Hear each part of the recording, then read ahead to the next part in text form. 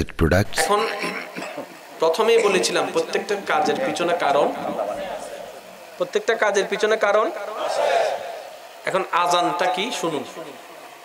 নামাজ জান্নাতের চাবি। আমি বলছি আপনারা মিলান, নামাজ জান্নাতের সেই নামাজের জন্য কি? হজের জন্য কোনো আজান? জাকাতের জন্য আজান? রোজার জন্য আজান? নামাজের জন্য কেন আজান আচ্ছা আজানটা যদি সর্বপ্রথম এমন একটা নিয়ম হতো, আল্লাহু আকবার আল্লাহু আকবার, লা যদি এইভাবে চলতো, আমরা আজকেও যদি শুনতাম, আল্লাহু আকবার আল্লাহু আকবার, লা ইলাহা ইল্লাল্লাহ, তাহলে আমরা বুঝতাম যে নামাজের সময় হয়েছে। এত লম্বা হইল কেন আজান আরও সহজ করছি। আজানটা কিসের জন্য?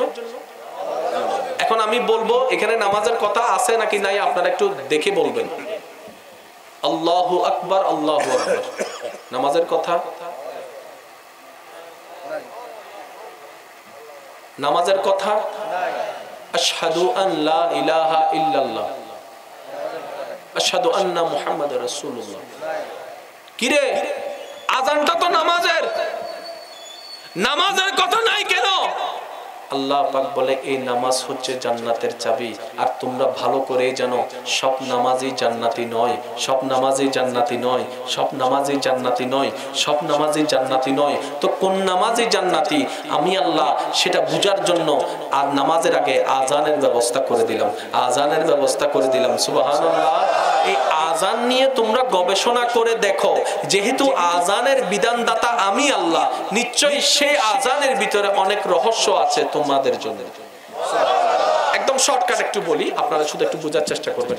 আমি বলব আপনারা শুধু গণবেন কয় লাইন আল্লাহু আকবার আল্লাহু আকবার। আল্লাহু আকবার আল্লাহু আকবার। আশহাদু আন লা ইলাহা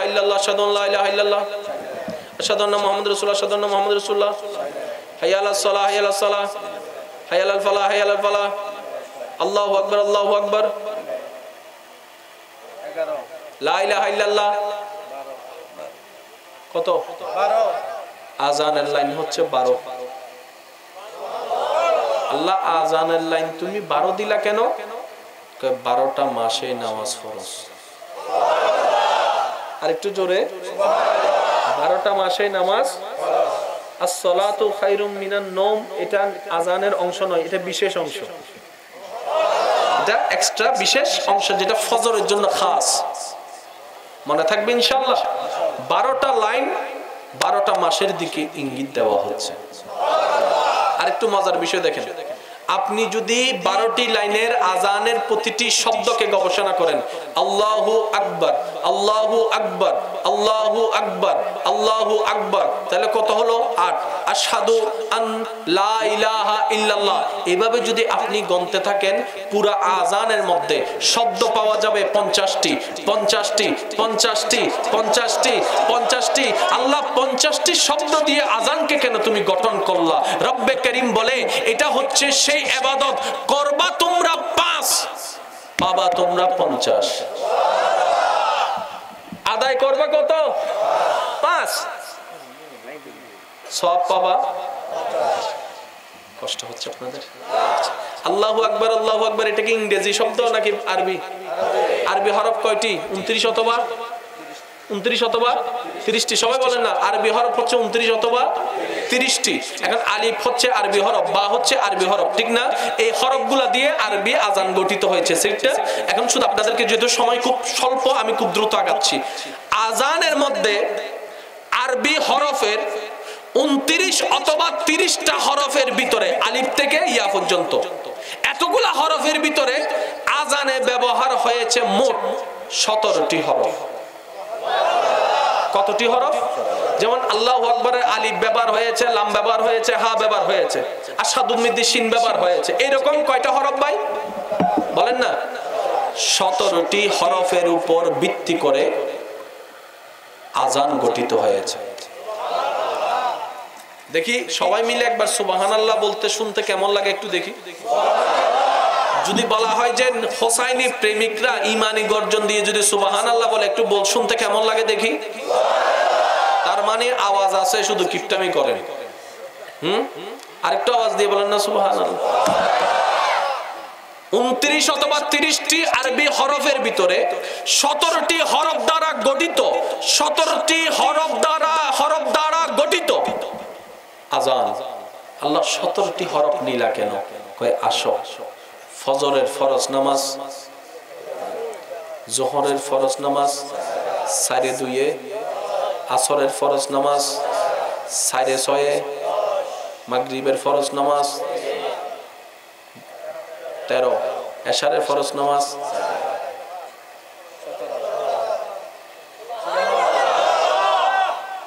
আজান শুধু আজান নয়, আজানের ভিতরে আপনার মৌলার প্রেমের রহস্যটা এখানে সবচাইতে একটা শিকার মতো, বুঝার মতো, আমি আপনাদের সাথে আসলে ওয়াইজ করছি না। আপনারা আমার ভাই, আমি আপনাদের সাথে আলোচনা করছি ভাই ভাই হিসেবে। ওলামাই কেরাম যারা স্টেজে আছেন, ওনাদের দোয়াকে আমার মাথার উপর ছাদ বানিয়ে আমি অতি নগণ্য ছোট্ট একটা মানুষ। ওলামাই কেরামের দোয়া নেওয়ার আশায় দুই একটা কথা বলছি। একটু খেয়াল করবেন কালিমার মধ্যে আল্লাহ এবং নবীর নাম একসাথে না আলাদা? একটু একটু বেবে বলেন তো। কোরআনের মধ্যে আতিউল্লাহ ও আতিউর রসুল একসাথে না আলাদা? জান্নাতের গেটের মধ্যে আল্লাহর নামের সাথে, নবীর নাম আলাদা না একসাথে? আর একটু জোরে। জান্নাতের পাতায় পাতায় আল্লাহর নামের সাথে, নবীর নাম কি আলাদা না একসাথে? আজানের মধ্যে।